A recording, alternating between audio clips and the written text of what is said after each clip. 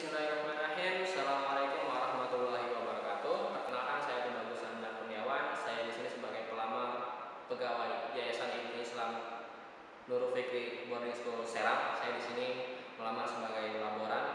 Eh, di sini akan melakukan eh, seleksi kompetensi bidang beberapa uji praktikum untuk laboran. Yang pertama di sini ada sudah saya siapkan eh, uji fotosintesis dalam percobaan SHAK. Percobaan SHAK ini dilakukan oleh Julius Pansyah pada sekitar tahun 1860-an. Tujuannya adalah untuk membuktikan bahwa fotosintesis ini menghasilkan salah satu komponen karbohidrat yaitu adalah amilum. Nah, bisa kita lihat di sini eh, rumus fotosintesis berawal dari eh, tumbuhan membutuhkan CO2 dan juga air untuk menghasilkan energi dalam bentuk karbohidrat dan juga oksigen. Maka di sini alat dan bahan sudah saya siapkan. Yang pertama di sini ada beaker glass ukuran 500 ml, tetapi bisa menggunakan ukuran yang lainnya. Di sini sudah saya siapkan juga airnya sampai penuh. Lalu di sini ada kaki tiga bersama pelengkapnya dan juga pembakar bunsen. Fungsi dari alat-alat ini adalah untuk beaker glass sebagai media untuk pemanasan dari eh, yang akan kita ujikan yaitu uji coba syak dan juga bunsen dan juga kaki tiga beserta pelengkapnya adalah untuk eh, kelengkapan pembakaran atau pemanasan pemanasan air yang sudah kita siapkan. Lalu di sini ada kertas aluminium foil. Nah, kertas aluminium foil ini digunakan sebagai penutup beberapa bagian daun yang akan kita uji coba.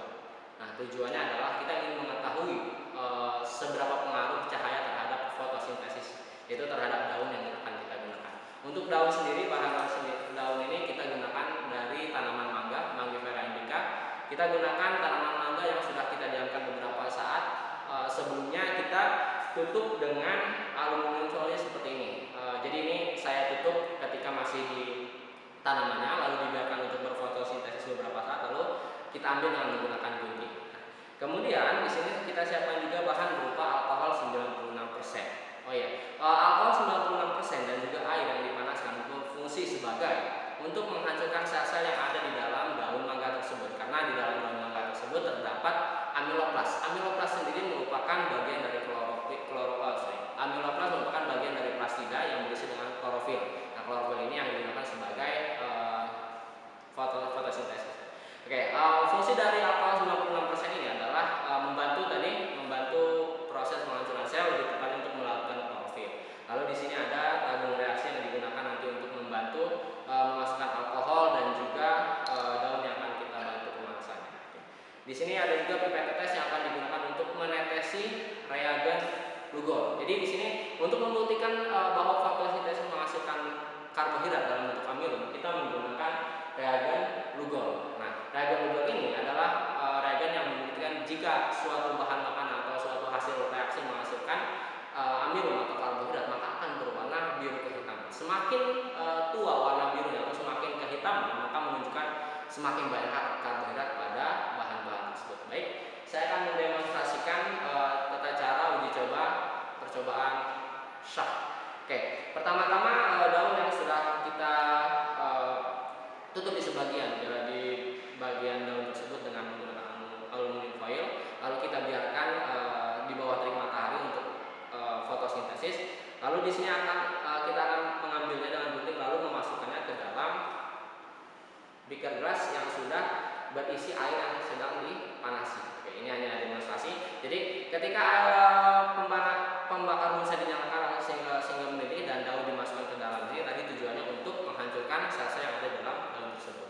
Kemudian setelah dipanaskan kita juga bisa membantu untuk melakukan klorofil dengan cara di daun daun mangga tersebut kita masukkan ke dalam tabung reaksi. Tadi sudah dijelaskan fungsi tabung reaksi dan juga fungsi alkoholnya. Oke, ketika sudah selesai semuanya maka kita akan ambil daun tersebut lalu dibersihkan dengan air mengalir bisa menggunakan aquades atau air keran atau di air toilet saya air mengalir. Oke, setelah dibersihkan kita tetesi dengan gugol. Tata cara menetesnya bisa kita tetesi seluruh bagian daun tersebut. Nah, dari hasil dari foto uh, uji coba sah yang kita lakukan nanti akan terdapat beberapa bagian yang uh, berwarna pucat dan juga berwarna biru kehitaman. Pada bagian berwarna kehitaman menunjukkan bahwa hasil fotosintesis menghasilkan karbohidrat atau energi yang berguna bagi makhluk hidup. Sedangkan yang berwarna pucat membuktikan bahwa e, cahaya berpengaruh terhadap proses fotosintesis. Dan aluminium foil akan menghambat e, laju fotosintesis pada bagian yang ditutupi oleh aluminium foil tersebut. Baik,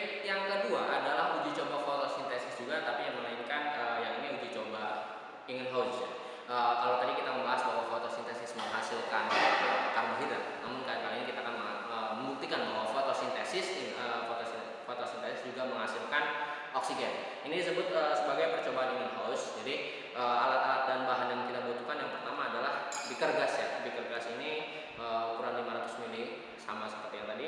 Lalu ada corong. Namun corong yang kali ini kita gunakan uh, kita letakkan terbalik. Kenapa? Karena gunanya uh, uh, karena gunanya untuk melihat apa yang kita uh, tuju tadi itu uh, oksigen dalam bentuk gelembung gas sehingga nanti uh, gelembung, gelembung gas yang berupa oksigennya bisa kita amati dalam berupa gelembung yang berada di dalam uh, tabung dari corong ini tersebut ya. Oke. Beaker gas di sini dan corongnya sudah saya demonstrasikan sedemikian rupa se se sehingga berisi air ya. Uh, dan juga bahan yang dibutuhkan adalah uh, tanaman Hirula verticillata. Jadi tanaman Hirula ini saya butuhkan untuk uh, sebagai media hidup untuk uh, fotosintesis karena mengandung klorofil. Nah, tanaman Hirula ini merupakan tanaman air sehingga ketika kita masukkan air dia tetap mampu melakukan fotosintesis. Baik, uh, bahan yang selanjutnya adalah kalsium karbonat. Nah, namun bisa alternatif lainnya kita gunakan sebagai natrium karbonat atau baking soda atau soda kue. Lalu ada uh, ini adalah spatula yang digunakan untuk mengambil uh, natrium bikarbonat yang tadi. Nah ini adalah wujud dari tanaman hirilanya yang belum saya masukkan ke dalam bikerbasa. Oke, uh, untuk demonstrasinya uji coba Iman House ini kita gunakan beker gas yang sudah diisi air, sudah diisi air lalu uh, diletakkan corongnya dalam keadaan terbalik dan tanaman hirilanya kita masukkan ke dalam corong tersebut sehingga didapatkan tanaman jirila berdiri tegak seakan-akan berdiri tegak. Oke, uh, uji coba ini membutuhkan beberapa perlakuan yang berbeda untuk membuktikan pengaruh-pengaruh yang berbeda. Jadi uh, pada uji coba ini faktor-faktor yang sangat berpengaruh terhadap fotosintesis ada tiga hal. Yang pertama adalah cahaya, suhu, dan juga sedikit atau banyaknya kadar karbon dioksida. Untuk cahaya bisa kita gunakan atau bisa kita lakukan uji coba ini di bawah sinar matahari secara langsung. Atau kita juga untuk suhu bisa kita gunakan e, bantuan dari pemanas spiritus dan juga bunsennya ya tadi. Sorry pemanas bunsen dengan bantuan spiritusnya dan juga kaki tiga ya. Jadi e, setelah kita panaskan hingga 40 derajat celcius maka ini merupakan bagus untuk e, enzim yang ada pada di enzim klorofil yang baik untuk klorofil yang ada pada tanaman hidup tadi jadi tanaman hijau akan bekerja optimum pada suhu sekitar 30 sampai 40 derajat Celcius sehingga uh, hasil yang diharapkan adalah volume oksigennya masih makin banyak. Yang selanjutnya faktor yang selanjutnya adalah kita bisa menambahkan uh, natrium bikarbonat ya sebagai pengganti kalsium karbonat tadi. Jadi ketika kita uh, ingin menambahkannya bisa digunakan beberapa takaran dari natrium bikarbonat. Jadi bisa kita gunakan Oke, seperti ini. Untuk pengamatan yang terjadi adalah kita bisa e, letakkan ini di bawah sinar matahari secara langsung, lalu kemudian kita tunggu beberapa saat. Maka e, jika kita amati hasil dari fotosintesis ini adalah adanya gelembung-gelembung udara di dalam corong yang sudah berisi tanaman hidrila dan juga air. Bisa kita amati seperti ini. Untuk membuktikan bahwa apakah gelembung tersebut merupakan oksigen atau bukan, kita bisa mengujinya dengan menggunakan e, lidi yang sudah dibakar ujungnya jadi lidi nanti uh, anggaplah ini sebuah lidi. Jadi lidi nanti kita bakar ujungnya sampai menimbulkan bara lalu kita masukkan ke dalam corong tersebut. Dan apabila lidi tersebut menyala untuk beberapa saat, maka itu membuktikan bahwa adanya oksigen dalam uh, hasil uji coba fotosintesis ini. Karena pada kaidahnya adalah uh, oks api akan membakar oksigen dan akan menimbulkan uh, wujud api beberapa saat. Oke. Itu dia uji coba ini host uh, yang kedua ini. Oke. Baik selanjutnya adalah pengamatan atau pengambilan gambar gambar dari preparat sampel yang sudah disediakan. Oke, di sini kita ada mikroskop elektrik, uh, sorry mikroskop cahaya yang berenergi elektrik. Kita buka dulu. Untuk sampelnya di sini saya siapkan uh, sampel tumbuhan yaitu berupa daun monokotil dan juga sampel uh, sel hewan atau jaringan hewan yaitu dari uh, usus halus ileum, mamalia. Pertama-tama kita siapkan dulu mikroskopnya untuk e, keadaan hidup dengan cara menyambungkan ke sumber listrik yang ada. Lalu kita tekan tombol on pada mikroskop tersebut. Lalu e, kita letakkan oke, kita letakkan sampel preparat yang sudah disediakan yaitu pertama adalah daun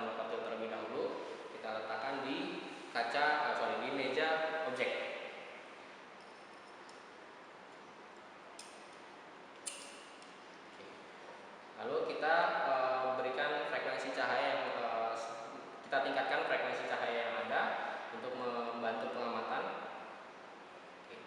Kita awali dengan uh, perbesaran empat kali.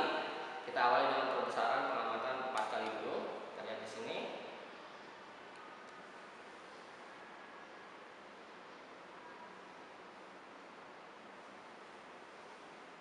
Nah, untuk mengatur fokus yang ada pada mikroskop, kita bisa menggunakan makrometer skrup dan juga mikrometer skrup. Uh, selain itu, kita bisa juga mengatur uh, posisi dari meja objek dengan uh, bantuan yang sebelah sini, alat sini. Oke. Apabila sudah didapatkan sebuah objek yang kita inginkan, maka bisa kita perbesar untuk mengetahui lebih jelas atau detail objek yang kita inginkan. Kita perbesar dan ke perbesaran 10 kali.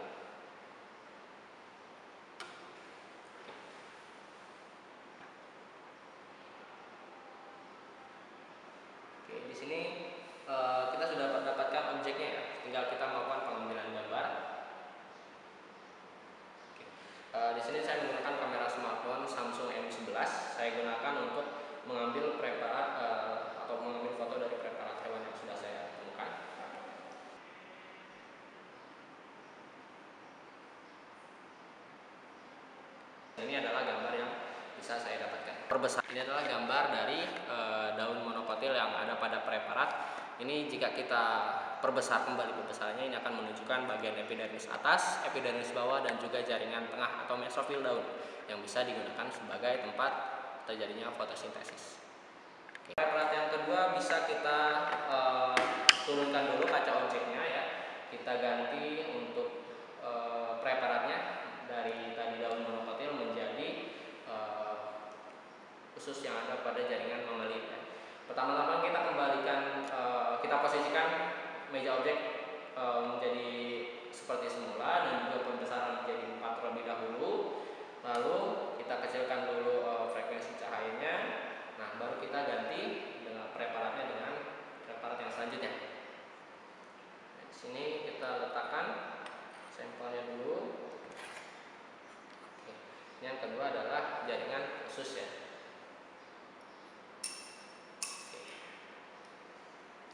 Seperti biasa setelah kita e, meletakkan e, preparat objek pada meja objek, kita akan mengatur fokusnya dengan cara meningkatkan frekuensi cahaya dengan mengatur kondensor dan juga diafragma.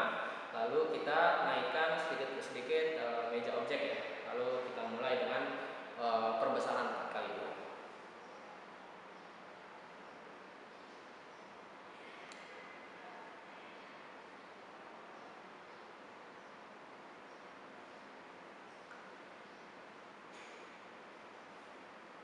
Oke, e, seperti sebelumnya, jadi kita bisa mengatur posisi dari objek yang kita amati. Jadi ini bisa kita amati bagian-bagian yang e, tertentu atau seluruhnya.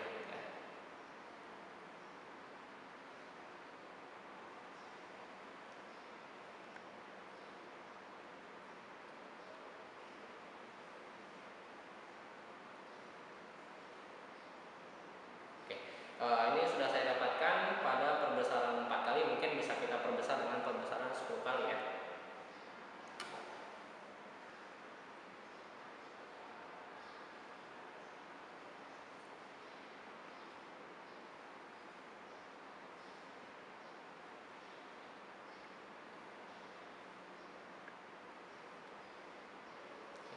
Di sini saya akan mencoba kembali mengambil gambar dari preparat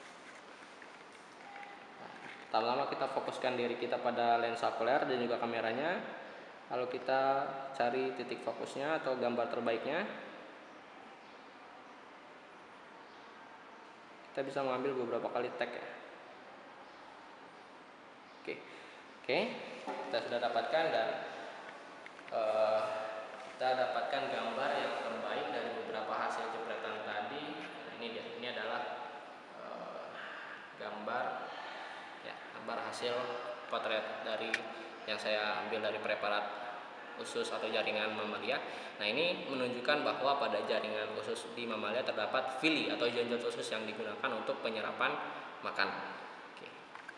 Selanjutnya ada kita harus membersihkan beberapa bentuk dari lensa okuler. Biasanya setelah melakukan praktikum eh, eh, mikroskop tersisa beberapa kotoran seperti debu ataupun bahkan uh, rambut halus pada mata atau halus halusnya uh, apa uh, halisnya ya. Oke. Nah, pertama-tama setelah kita melakukan uh, shutdown atau mematikan uh, sambungan elektrik atau listrik pada mikroskop ini tersebut, kita uh, mengambil dari lensa okuler yang akan kita bersihkan. Oke, kita ambil sebelah sini. Nah, ini adalah wujud dari lensa okuler yang akan kita bersihkan. Di dalamnya terdapat dua buah lensa yang memiliki bentuk yang berbeda. Lensa yang uh, urutan atau oh, sorry, ya, lensa yang uh, letaknya di sebelah atas ini memiliki ukuran yang lebih kecil dan memiliki dua sisi. Satu sisi datar yang menghadap ke atas dan juga sisi yang uh, berbentuk cembung ya menghadap ke bawah. Lalu uh, lensa yang di bawahnya ini uh, lensa yang memiliki ukuran yang besar. Oke, kita buka dulu perlahan.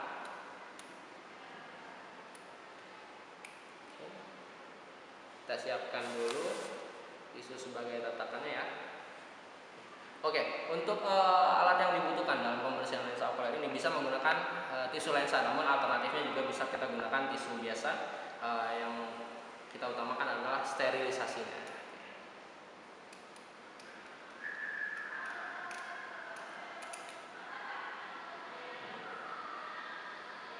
Nah ini dia. Jadi setelah kita buka tabung yang bagian atasnya terdapat sebuah lensa yang kecil yang yang tadi ini e, bagian cembungnya mengarah ke bawah dan bagian datarnya mengarah ke atas. Kita letakkan dulu, lalu kita buka lagi ada cakram bagian tengah, kita lepaskan, lalu kita temukan bahwa e, bagian bawah terdapat lensa satu lagi yang ukurannya lebih besar daripada yang pertama. Nah ini e, dua sisi ya, mungkin agak sedikit e, cembung ya. Oke, kita letakkan di bawah. Nah ini juga Pertama-tama kita bersihkan adalah e, tabung-tabungnya tadi. Sebelum kita membersihkan lensanya, kita bersihkan tabungnya dulu dengan menggunakan e, tisu. Kita bersihkan dulu dari debu dan kotoran.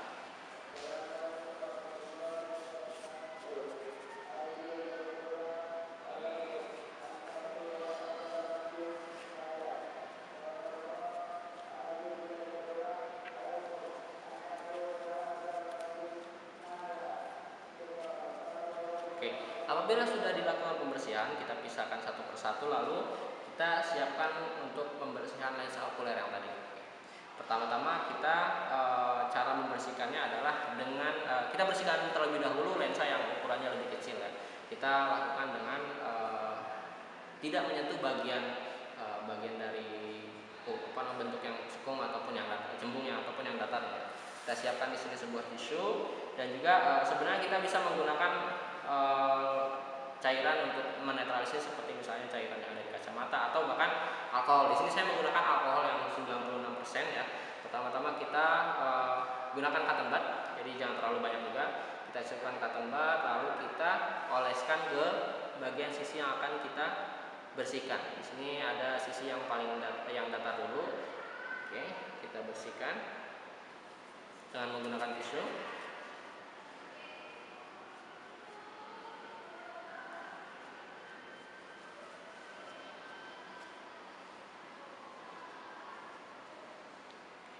jika sudah dirasa bersih ataupun dirasa kurang bisa kita tambahkan kembali.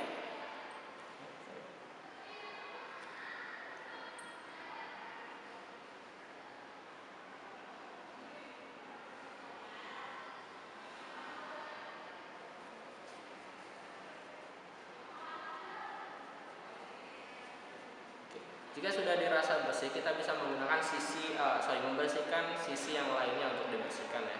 Jadi kita sininya lalu kita bersihkan sama juga menggunakan alkohol yang tersedia.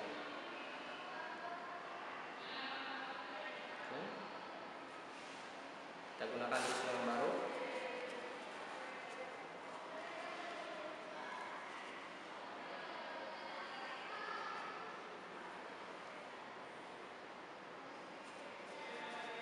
Jika sudah dirasa bersih bisa kita pisahkan ya membersihkan bagian lensa yang satunya lagi atau yang ukurannya lebih besar.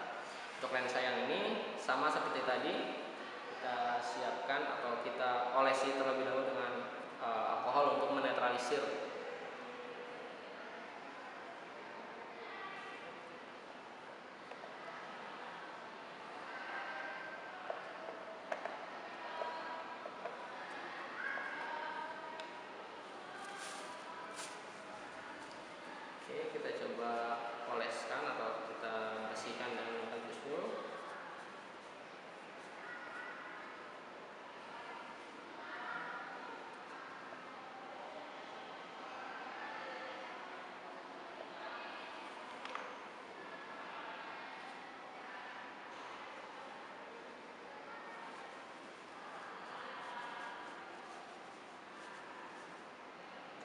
Jika sudah dirasa bersih untuk beberapa kali pembersihan atau jika dirasa kurang bisa kita tambahkan kembali alkohol atau baik e, untuk e, membersihkannya dengan menggunakan tisu ya.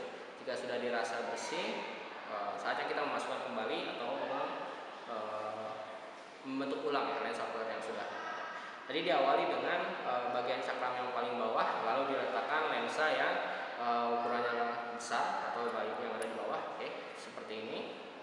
Lalu kemudian kita tutup dengan menggunakan cakram yang ada di bagian tengah. kita letakkan seperti ini.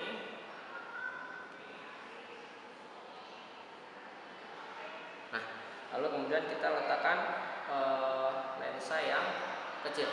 E, selalu diingat bahwa lensa okuler yang ukurannya paling kecil ini adalah lensa yang dekat, e, langsung berdekat berkontak dengan mata kita sehingga kita letakkan lensa yang okuler yang ukuran kecil ini dengan posisi atau bagian lensa cembungnya menghadap ke bawah. Jadi lensa yang mendatar menghadap ke atas. Oke ya. Jika sudah selesai, kita tutup kembali dengan tabung dari lensa okuler. Oke. Kita tutup kembali.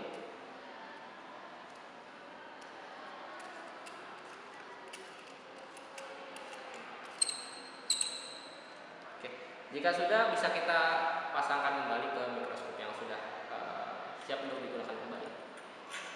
Oke. Dan begitulah cara pembersihan lensa okuler uh, dalam beberapa bentuk yaitu bentuk yang lebih kecil ataupun yang besar dengan dua sisi yang berbeda. Oke.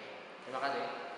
Baik, untuk uji yang terakhir uh, kita gunakan atau kita melakukan percobaan uji makanan.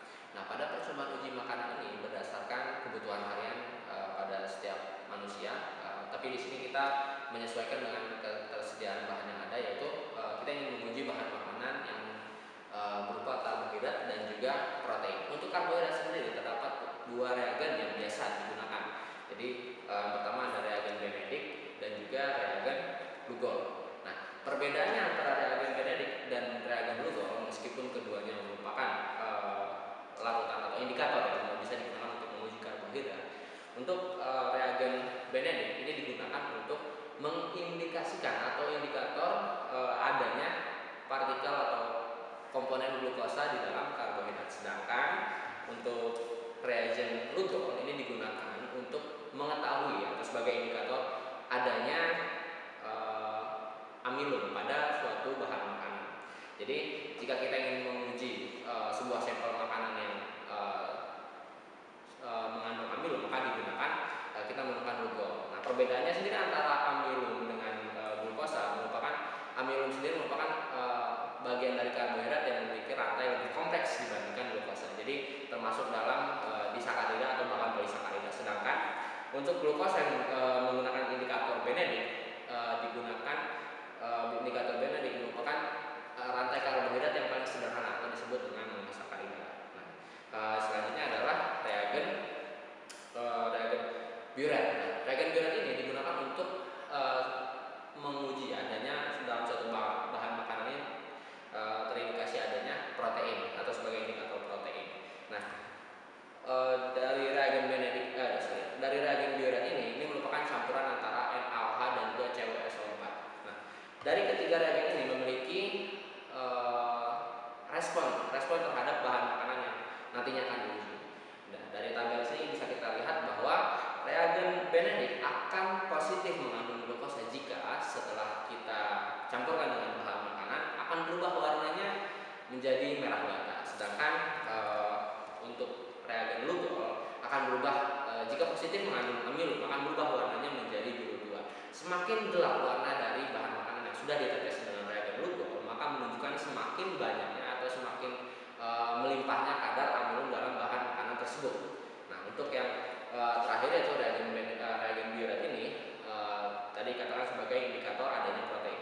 Nah, apabila uh, reagen uh, biorat ini diteteskan atau dicampurkan dengan bahan, bahan makanan dan mengandung protein, maka uh, warnanya akan berwarna ungu. Karena ini akan terjadi pengingatan antara protein dan juga reagen reagen Benedict eh sorry, reagen biorat sendiri. Oke, itu dia reagen yang ada dari, uh, yang biasa digunakan yang umum digunakan meskipun demikian ada beberapa reagen yang dan juga pengganti dari beberapa uh, reagen seperti Benedict seperti A dan B. Nah, untuk e, cara penggunaannya, cara penggunaannya bisa kita menyiapkan bahan makanan lalu dihaluskan dan kemudian ditetesi e, beberapa reagen yang ada yang kita punya. Nah, untuk membantu dari proses uji coba makanan ini bisa kita gunakan dengan e, bantuan suhu ataupun dengan bantuan e, penghalusan baik secara mekanis ataupun dengan bantuan alat. Oke, e, demikian dari e, dari semua uji rangkaian seleksi kompetensi bidang yang saya lakukan.